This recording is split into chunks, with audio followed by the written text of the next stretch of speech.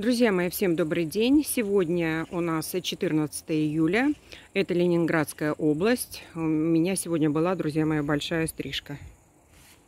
Вот я сегодня столько с этой теплицы настригла листвы.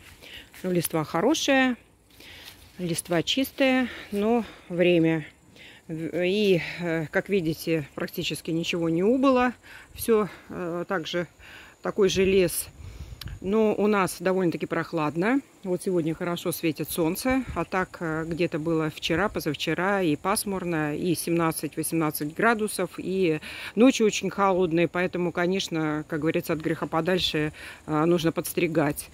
То есть я состригла немножко снизу, Сегодня с утра, кстати, прошлась э, по, по листу гуматом калия пораньше. И вот сейчас у нас время 5 часов. Э, то есть я вот э, подстригла и попозже уже пройдусь еще бактогеном на основе сеной палочки.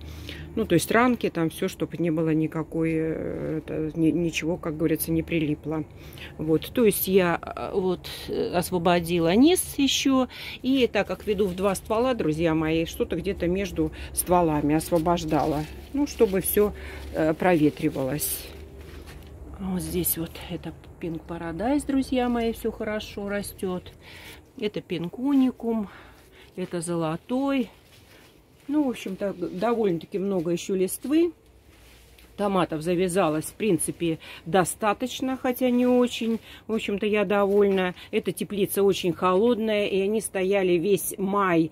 Были посажены сюда 21 апреля, и весь май у нас были морозные ночи. В общем-то, здесь практически минус был в теплице. И, друзья мои, первые кисти э, завязались э, вот, вот такие вот маленькие, совсем, вот, можно видеть прямо сипуськи. Ну, дальше все идет нормально. А вот, вот такой лес. Тоже завязывали э, кучу, конечно, э, кистей. Ну и сверху уже так. Тоже, друзья мои, спрашивали, почему сохнет. Ну вот, потому что, ну что, уже где-то порядка 80 кистей на этом. Э, ну, мне кажется, уже просто не тянет. Так, вот это у нас э, Red Puer. В общем-то, нормально. Вот так постригла. Сейчас он начнет вот здесь вот с краю э, краснеть. Вот манго джанга еще один стоит. А, наливается. Еще один кумата. Это роликсы. Ну, в общем-то, томаты есть. Томаты есть. И с томатами все хорошо, все нормально. Вот. Так что подстригла. Вчера хорошо проливала опять.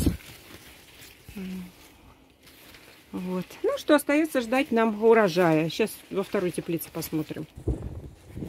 Вторую теплицу тоже немножко подстригла. Ну, тут я уже подстригала. Ну, здесь уже активно кушаем. Вот он. Кумата тоже подстригла. Тут хорошо все. Куматиков много. Четыре ствола я его вела. И э, ну, в общем-то, там в два ствола, и они мельче, а эти нормальные. Вот в этом году тоже интересно, так э, стояли они здесь, э, у нас светило солнце, май месяц, и было морозно. И, друзья мои, посмотрите, как они назавязывали короткие междоузлия совсем. И вот так вот назавязывали эти э, кисточки. Ну, вот это вот уже идет Женарос, э, гибрид, вот такой вот, вот он, он. Ну, вот они при холоде, вот такие мелкие. Ну, а дальше пошли вот нормальные, в принципе. И вот он идет, идет, идет, идет, идет, идет и до верха. Pink Impression. Вот. Нормально все. И вот смешной какой. Вот так вот. Ну, тут уже вот собирали все, кушаем. И вот, вот так вот. Вот это последняя кисточка, где-то на уровне глаз. И все, там уже все засохло. А здесь пазана. Ну, тоже вот все простригла. Этот низ освободила полностью. И серединки простригла.